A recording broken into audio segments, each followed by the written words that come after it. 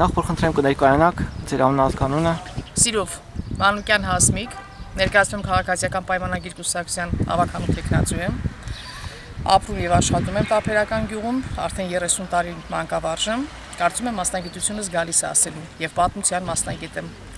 Ոստի դեպքերն ու իրադարձությունները անաչառ վերլուծելու տրամադրվածություն ունեմ։ Խնդրեմ, եթե Ինչպես կգնահատեք մինչ այս պահը, հա, ընտրությունների ընթացքը երևի գյուղում նկատած կլինեք, կա որոշակի ակտիվություն թե ոչ։ Առհասարակ մեր գյուղն ակտիվ է եղել բոլոր ընտրություններում, սա բավականին զարգացած եւ բավականին կոլորիտով գյուղ է այնպես որ ընտրություններում երբ լսում են արդեն տափերական, գիտեն, որ սա սեփական դեմք ունեցող գյուղ է։ Ժողովուրդն առաջնորդվում է յուրաքանչյուր ըստ կարծիքի, որևէ ճնշում չկա, շատ նորմալ, լավ ընտրություններ են անցնում, պահպանում ենք ժողովրդավարության նորմերը։ Երկու կողմից էլ նորմալ է ընթանում, չեմ կարծում, թե որևէ խնդիր կառաջանա։ Հուսանք, որ ամեն ինչ լավ է լինելու։ Ինչ ակնկալիք ունեք արդյունքներից։ Բնականորեն որ թիմը ներկայացնում եմ, ակնկալիքս իմ թիմն է, դեպի քաղաքացիական պայմանագիր կուսակցությունը սատարում եմ եւ սատարում եմ ոչ թե կապված վերջին իրադարձությունների հետ, հեղափոխության ակունքներում եղել ենք դեռ 18 թվականից եւ ամփոփող է մնացել մեր հայացքները, ավելին ավելի կայունացել եմ իմ կարծիքում պատերազմից հետո բավական տրամադրություններ փոխվեցին։ Պատերազմը, պատերազմը այսօր դա վիճահարույց հարց է պատերազմ մենք այսօր չենք կարող նկարագրենք միայն տարածաշրջանային, որովհետև տեսնում ենք սրանում ներգրավված է համաշխարային մասշտաբով է պատերազմը։ Կուսակցություն գնահատել պատերազմով ես ճիշտ չեմ ընդունում եւ անընդհատ պետք չի որ կողմը ցավոտ է անընդհատ գնանք ու քչփորենք այն։ Ընթակարակ, եկեք մտածենք որ պիտի մխիթարենք։ Եկեք յուրաքանչյուրս պայքարենք որ չպիտի այլևս պատերազմ լինի, ոչ թե անընդհատ հրահրենք։ Տեսեք պատերազմը, աշխարհն այսօր պատերազմում հզոր Ռուսաստանին այսօր գնանք անասենք, տեսեք պատերազմը։ Պատերազմները տարածաշրջանային բնույթ այլևս չեն կրում, դրանք գլոբալացում են գնում, եւ սա բոլորն են գիտակցում։ Եվ պատերազմի հետ կապված ուզում եմ ասեմ ավելին, փառք ու պատիվ մեր նահատակ տղաներին, որովհետեւ երբ մենք այսօր ենք հետևում ռուս-ուկրաինական պատերազմին։ Այո, մեր հայ զինվորն իր տեսակով, իր կոլորիտով, իր նվիրվածությամբ, իր հայրենասիրությամբ տարբերվել է։ Էնպես որ խոնարհումս մեր բոլոր նահատակ տղաների եւ հանուն հայրենիքի, որ գնացել ենք ընտրությունը այդ հանուն հայրենիքի մի մաս է կազմում։ Եկեք բոլորս մեր ներդրումն ունենենք մեր ազատ Հայաստանի, մեր ժողովրդավար Հայաստանի Եվ այն ուղում, որ բռնել ենք, որովհետև բոլորս էլ նախորդ 30 տարվա սերունդ ենք եւ པարզ տեսել ենք ինչա կատարվել։ Արել ենք հեղափոխություն, դրանից վաղուց չի անցել եւ այս 4 տարին կարծում եմ այն շրջանը չի, որ կարելի է ընդհանուր վերլուծություն անել։ Ունենք այն ինչ ունենք ու փառք մեր երկրին, ինչի՞ չէ ասենք, մեր իշխանավորներին, եթե կան թերություններ բնականորեն պիտի լինեն, թող դրանք կշտկվեն։ Ես հավատում եմ, որ կշտկվեն։ Լայն արձագանք կտա, որ Պաշտպանության նախարարը սահմանային լարված իրավիճակում եկել էր վեդի եւ մասնակցում էր Քարոզ Արշավին։ Դուք ինչպես կնահատեք, հա, այս իրավիճակը։ Պաշտպանության նախարարի գործունեությունը իմ համար մի քիչ լայն սպեկտրա գնահատելու համար, բայց եթե պաշտպանության նախարարը ժամանակ հատկացնում է, նշանակում է նաև ժամանակ ունի իր թիմին աջակցելու, բնականորեն նաև կայունություն պահելով սահմանային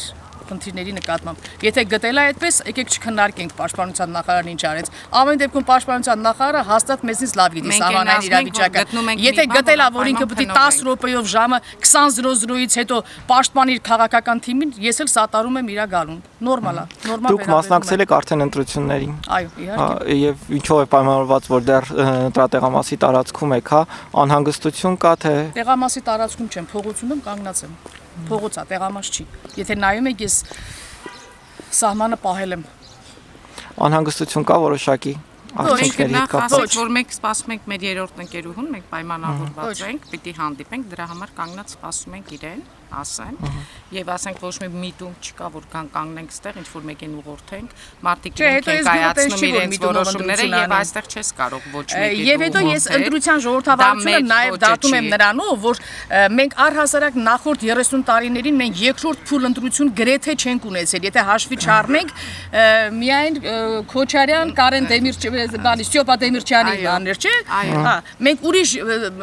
կրկնակի ընտրություն չենք եղել նաեւ ժողովրդավարության դրսևորումա որ թիմ ընտրությունը, առավել եւս թիմ ընտրությունը անցնում է կրկնակի քրվյարկությամբ, կրկնակի ընտրություն անցկացնելով։ Սա սա հենց վկայում է, որ մեր երկրում բան փոխվել է, որ կա այո խոսքի ազատություն։ Եթե հիշում եք, հատկապես այդ թիմ ընտրությունները եղել են խիստ լղոսված, խիստ ուղղորդված։ Այսօր մենք չունենք այդ ասեմ ավելին, ասեմ ավելին, մանկավարժներ ենք, չեմ խուսափում քաղաքական հայտարարություն արելուց, երբ տարիներ շարունակ մենք մի հատ տոմս էինք ունենում հանգարց թատրոն գնալու, մեզ ասում էին «Ստոպ տվեք թատրոնը, որովհետև Արտաշատում միտինգ կա»։ Մենք այսօր չենք հանդիպում դրան։ Մենք այսօր ունենք ազատ խոսքի, ազատ գործունեության հնարավորություն։ Եկեք գնահատենք, փոքր, բայց գնահատենք չէ եւ չեմ էլ կարծում որ փոքր է որովհետեւ սա մարդու իրավունք է երբ մարդուն ոտնահարում ես չգնաս թատրոն ուղիղ արտաշատի հրաապարակ, որովհետև մարդկա պիտի դիմավորես։ Մենք այսօր չունենք այդ ուղղորդումը։ Եկեք գնահատենք այդ։ Ու ու եկեք